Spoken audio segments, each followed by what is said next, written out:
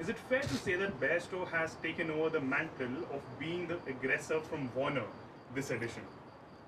Uh, I think uh, both have been have been doing so well for the team, and uh, it's all about getting the momentum in the middle. You know, once somebody gets the momentum and he says, "I'm going to take the charge and uh, lead lead now," and I think it's all about uh, taking the responsibility there in the middle. And uh, both are the very destructive batsmen, and uh, both has done good job for the team so far. And uh, it's all about like you know, being in the middle, taking the responsibility, and and doing well for the team.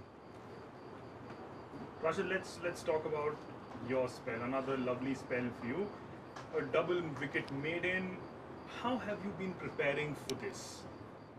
Uh, I just trying my best to keep it simple for myself and uh, don't don't put too much on too much pressure on myself and just go there, enjoy my bowling, and that's what I have been doing so far.